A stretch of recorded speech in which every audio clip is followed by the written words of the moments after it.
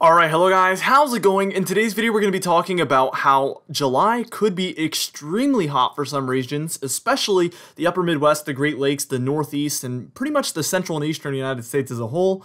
Now before I get started with this video though, I would ask that you do subscribe if you do like weather related content, and also make sure to share this video with your friends, family, and social media. I'd also like to invite you to join our very exciting communities on Facebook and our Discord server. Those are going to be in the comment, the pinned comment down below where you can join those two communities. I would love to see you guys there.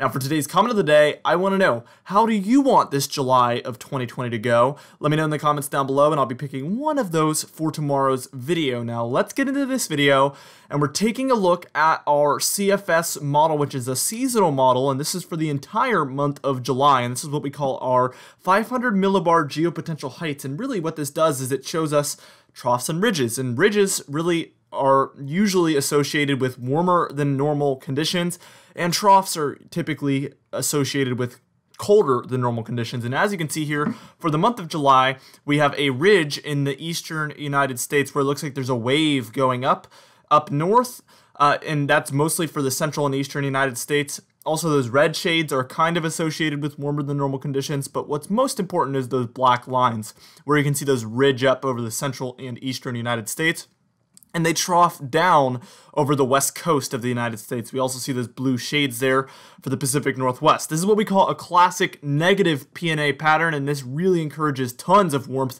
for the central and eastern United States and cold air uh, for the western United States there. So what we're going to do is we're going to move on and we're going to take a look at this in weekly increments here for the month of July, and then we're going to start getting into temperature anomalies where it's going to be more easy for you guys to follow most likely. All right, and here we are taking a look at our first week, and this is going to be for June 30th through July 7th. So we do get one June day in there, but it's not going to make a huge difference. In yesterday's video, we talked about the upcoming heat wave, and that's going to be for the first week or so of July, maybe a little bit longer. And as I'm making this video, it seems like it will be longer, actually. Uh, you can see that this is actually a very hot pattern. We have a giant ridge here forecasted over the eastern United States there uh, digging way north into Canada, uh, north of the Great Lakes. So this is going to be an extremely warm pattern, uh, and we're going to see the most above normal conditions there near Canada uh, for the Great Lakes, the upper Midwest, and the New England states as the warm air just completely blasts up north. Uh, and a very unusual pattern here. We also see a huge trough there for the western United States. Again, this is a negative PNA pattern, and that hugely encourages uh, warmth in the central and eastern United States. So that's the pattern we're seeing, and it is a overwhelming pattern here. As you can see, this is an extreme example of a negative PNA pattern. Uh, very warm conditions are expected for the eastern United States for the first week of July. Now, what we're going to do is we're going to move on and we're going to take a look at the second week of July, the 7th through the 14th.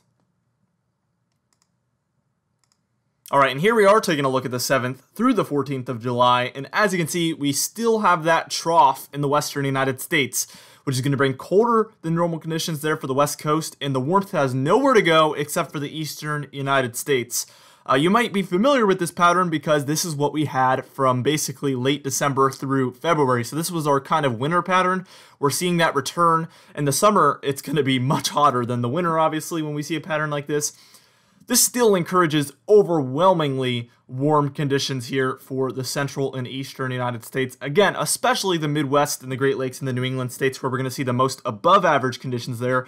The actual hottest temperatures actually on paper though will still be there the further south you go obviously. Obviously it's going to be hotter in Texas, Louisiana, Mississippi than it is in Minnesota, Wisconsin and Michigan.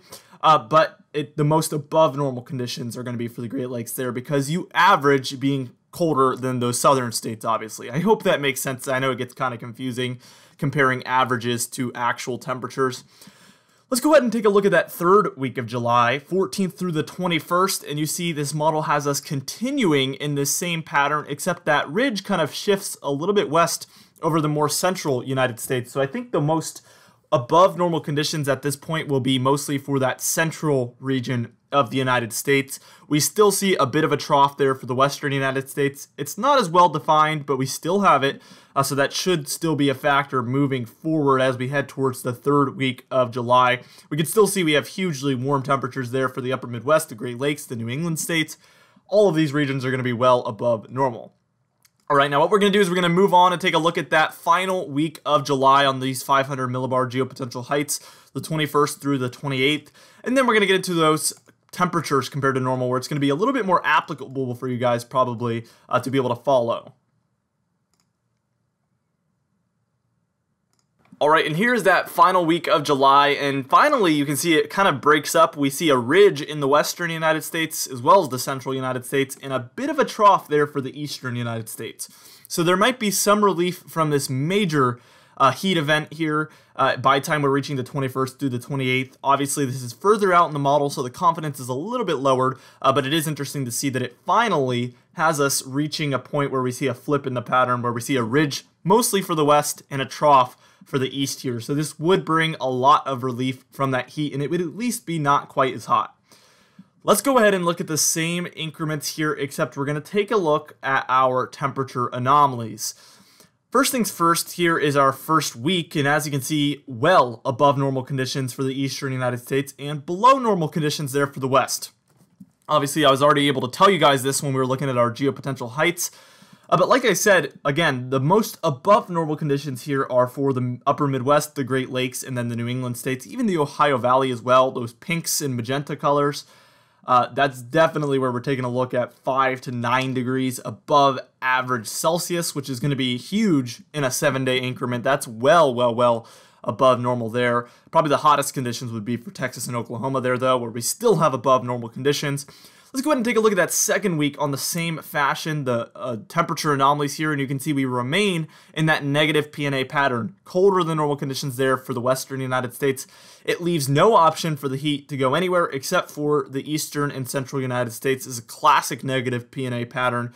And again, the most above normal conditions there are for the upper Midwest, the Great Lakes, and the New England states. However, pretty much it's overwhelmingly warm for the whole central and eastern United States. It's going to be a hot two weeks to begin July, I'm assuming here. It seems overwhelmingly in that direction with our teleconnections. If we do see that negative PNA, that's a classic signal that we're going to have well above normal conditions for the central and eastern United States, potentially a long-lived heat wave, as I've mentioned in yesterday's video.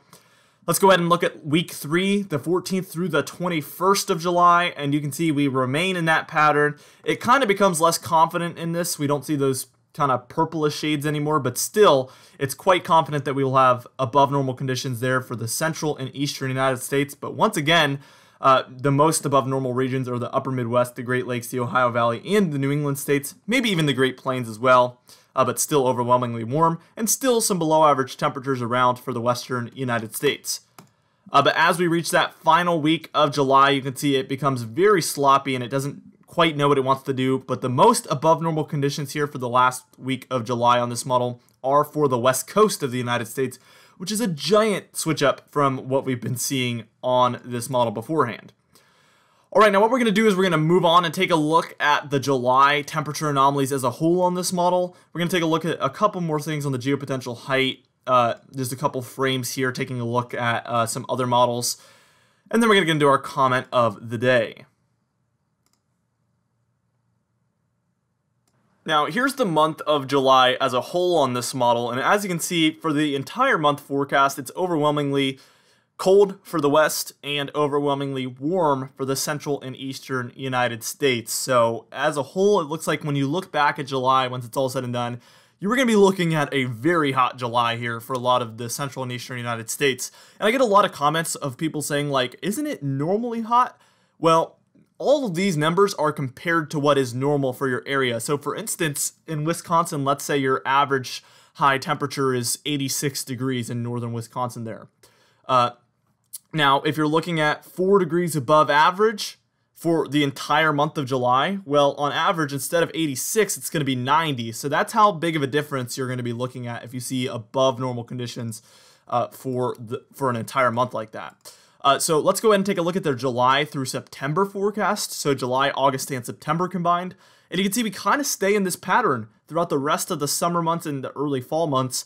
Uh, warm in the central and eastern United States and cold in the western United States. Climate models like these do have a bias with kind of just sticking with the pattern that we're in. So, for instance, we're approaching the same pattern and it's calling for it to kind of stick around. Models do this a lot, but it doesn't necessarily mean it's going to happen. Usually, there is a flip, and these climate models do not see the flip in the long range at all. Uh, so they struggle in that area. So this might not be as accurate as the one month forecast because of the fact that it's probably just trying to hold on to that pattern uh, that we have coming up, uh, but that might not be the case necessarily. Uh, let's look at that geopotential height for July, August, September, and you can see overwhelmingly a trough in the west, ridge in the east. Uh, so definitely has a sticking in this pattern, but again, really that doesn't mean much uh, moving forward. All right, now for today's comment of the day, I asked you guys, what is the highest temperature you've had so far this year? And Braden Lake said Buffalo, New York, 94 degrees Fahrenheit. That is very hot for Buffalo, New York. and I think that's similar to what the hottest temperature we've had here in Virginia is. So that's very, very impressive. Anyway, guys, thank you so much for watching this video. Again, be sure to share this video with your friends, family, and social media. I will see you guys in the next video.